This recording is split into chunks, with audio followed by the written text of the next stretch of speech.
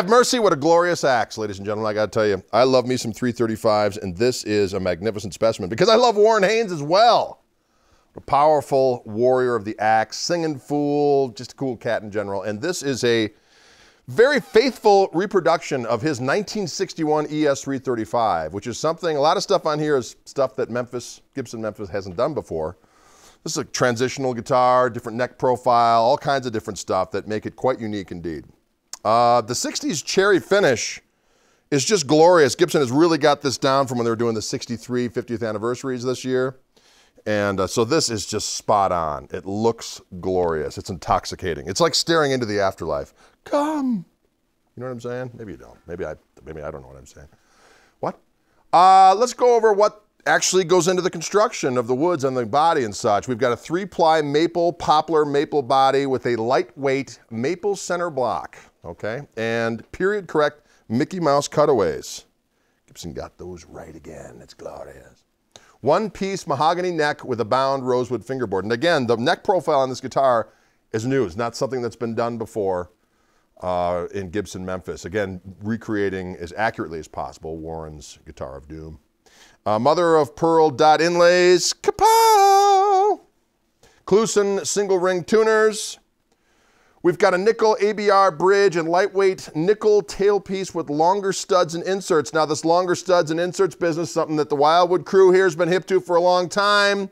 This is very key to the way a guitar resonates and sustains and so on and so forth and it was something that Gibson did back in the day and now are doing again, okay? Also, the bridge on this guitar has uh, nickel-plated brass saddles, which uh, also separates it from some of the other offerings that Gibson Memphis has.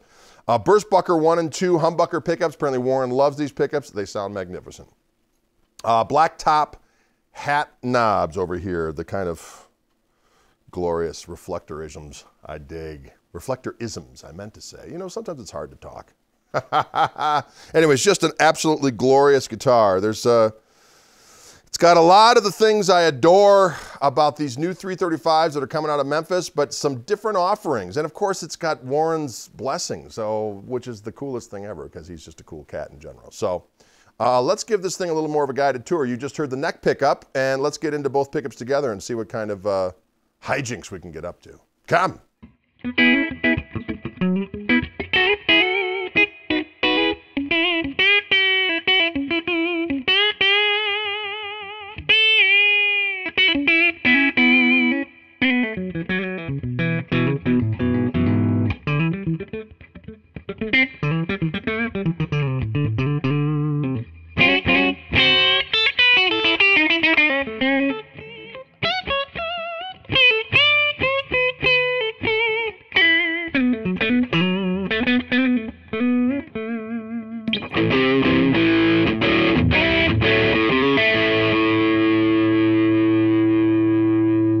Okay, folks, I'm going to just put, a, as I put the overdrive on here in this middle position, I'm also going to just go back on the tone control and the bridge pickup just a little bit to get a little bit more of that warranty type of a...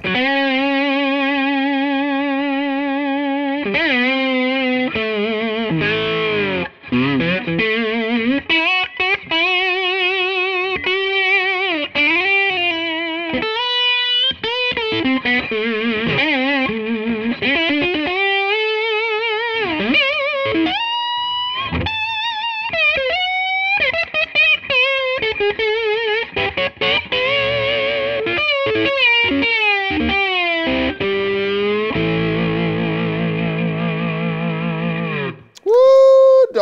Sounds good.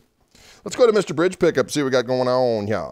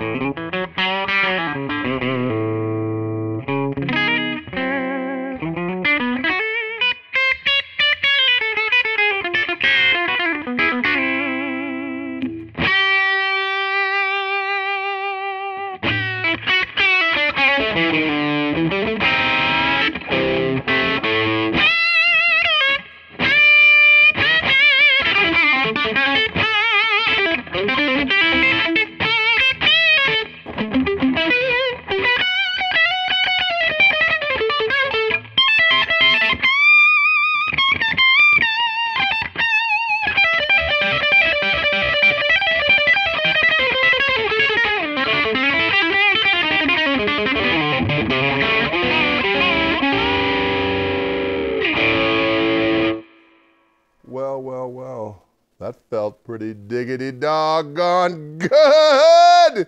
What a glorious axe. What fun. Warren Haynes, love you in a, you know, hetero kind of way. Not there's anything wrong with, you know, another approach, but, you know, whatever. Gibson, Memphis, Warren Haynes, 1961, ES 335. Here at Wildwood Guitars, I'm Greg Koch. We'll see you cats in the flippity flop.